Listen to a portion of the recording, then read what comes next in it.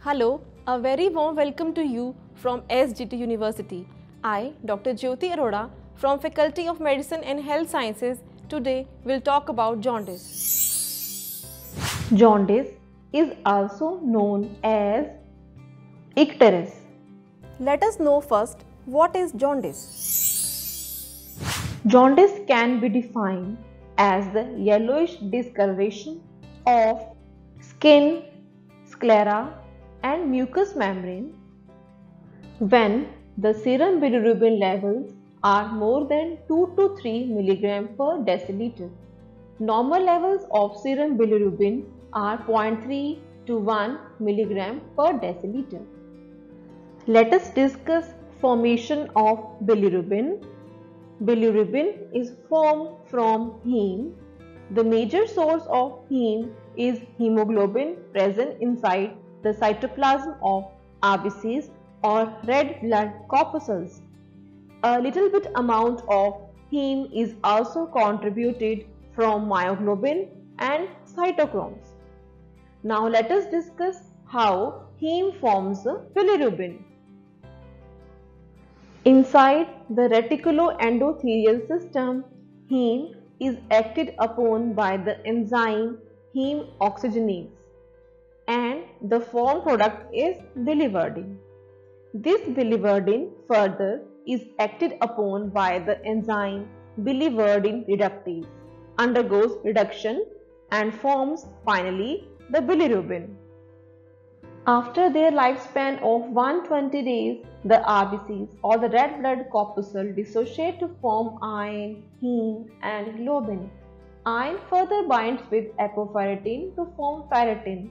Globin dissociates into amino acids adding upon to the amino acid pool of the body. And heme as we just discussed now is converted to form bilirubin. This bilirubin is in circulation is in bound form with the plasma protein albumin. This is called as free bilirubin or conjugated bilirubin. The property of this is that is it's lipid soluble and hence does not excrete out in urine. Next is the step of uptake that is this bilirubin enters the hepatocytes. Further it undergoes conjugation with glucuronic acid to form conjugated bilirubin and last is the excretion of the conjugated bilirubin into the bile canaliculi which is a rate limiting step also. Albumin dissociates from bilirubin. Now this bilirubin enters the hepatocytes via a member of OATP family that is organic anion transport polypeptide. Then it becomes bound to the cytoplasmic proteins. Next occurs its conjugation to glucuronic acid in a reaction catalyzed by the enzyme UDP glucuronide transferase which is primarily located in the smooth endoplasmic reticulum. One bilirubin molecule combines with two UDP molecules to form bilirubin diglucuronide. This conjugated bilirubin is in more soluble form as compared to free bilirubin. Then it is transported against the concentration gradient into the bile canaliculi by an active transporter called as MRP2 that is multi-drug resistance protein 2. Majority of the bilirubin diglucuronide or the conjugated bilirubin passes into the intestine via the bile duct while only a small amount of this conjugated bilirubin passes into the blood and it gets filtered at the level of kidney and passes out into the urine. In the intestine, this conjugated bilirubin or the bilirubin diglucuronide undergoes the process of deconjugation by the bacterial enzyme glucuronidase, forming a series of colorless derivatives of bilirubin, urobilinogen and stercobilinogen. Stercobilinogen passes into the feces and oxidation occurs to form stercobilin which imparts brown color to the stools also. 20% of this colorless compound urobilinogen passes back into the portal circulation via enterohepatic circulation, it reaches the liver. But a small amount of it also passes to systemic circulation which at level of kidney gets filtered and forms urobilinogen. Oxidation occurs to form urobilin and excreted out into the urine. So, what is enterohepatic circulation? It is the reverse transport in which some of the reabsorbed substances from the intestine reach back to the liver and are excreted from liver. Now, let us discuss Van den Bergh test. In this test or action, one can determine the type of bilirubin in serum. In the principle, the diazo reagent is used, which comprises of sulfanilic acid, hydrochloric acid and sodium nitrite. This reagent reacts with the excess of conjugated bilirubin within 30 seconds and imparting reddish brown color. This is called as direct positive reaction. In the indirect positive reaction, the diazo reagent reacts with excess of unconjugated bilirubin providing no color until some solvent like alcohol is added where the alcohol acts to dissolve the unconjugated bilirubin. Coming to the types of jaundice. There are three types of jaundice prehepatic, hepatic, and posthepatic. Now, let us first know the synonyms of these three types of jaundice. Prehepatic jaundice is also called as hemolytic jaundice or retention jaundice. Hepatic jaundice is also termed as hepatocellular jaundice or hepatotoxic jaundice. Posthepatic jaundice is also termed as obstructive jaundice or regurgitation jaundice. Now, let us differentiate between the three types of jaundice. The prehepatic jaundice is caused because of excessive RBC breakdown, for example in the hemolytic anemia. Hepatic jaundice, the main causes are infective hepatitis, maybe bacterial or viral, or cirrhosis or toxic damage to liver may be caused by the hepatotoxic drugs, for example, antitubercular drug rifampicin. In the posthepatic jaundice, the main cause is mechanical obstruction to the bile duct, maybe because of carcinoma head pancreas or bile duct stones. The type of bilirubin which is raised in serum, it is unconjugated in prehepatic jaundice, unconjugated and conjugated both in hepatic jaundice and only conjugated bilirubin in the posthepatic jaundice.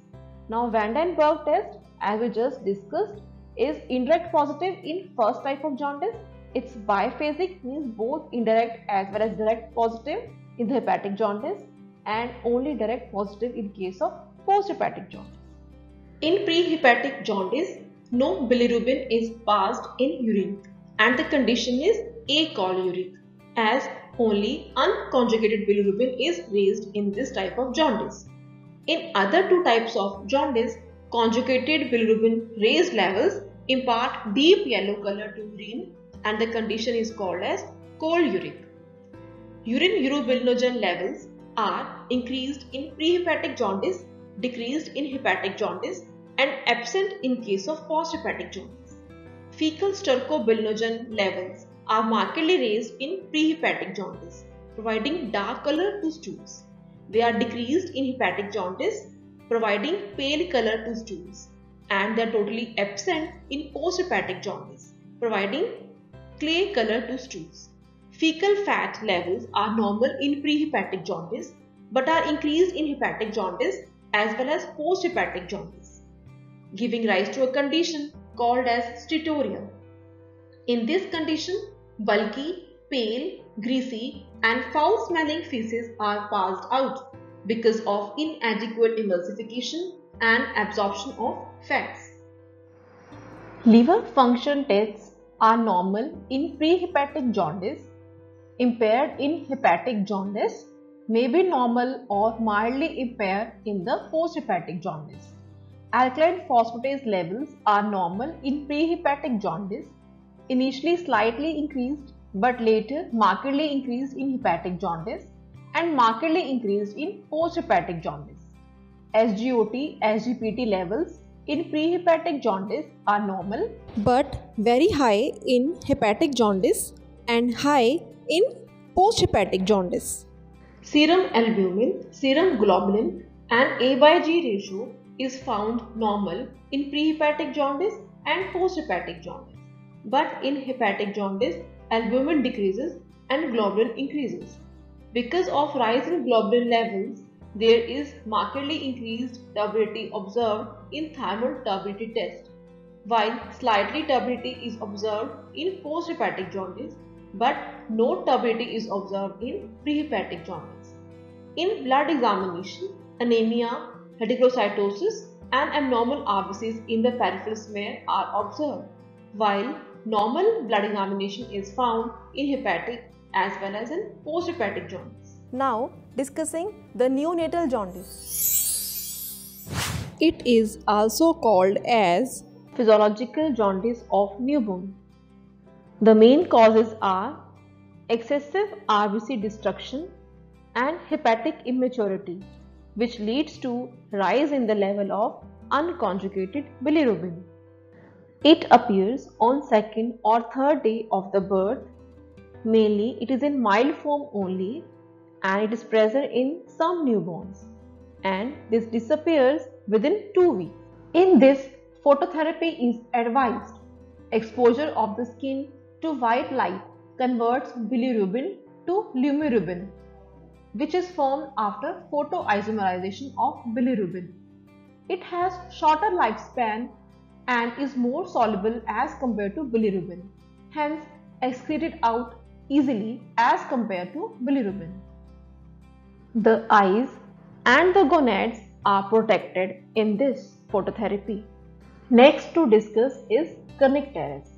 It is a condition which is seen when unconjugated bilirubin levels are raised in newborns and especially when the plasma concentration rises more than 25 mg per cent. At that time, it crosses the blood-brain barrier and causes permanent brain damage. The most common site where it gets deposited in the brain is basal ganglia. So today we covered the topic jaundice. Next time we meet, we will talk about another topic from the unit blood. Till then, keep learning, keep growing. See you next time.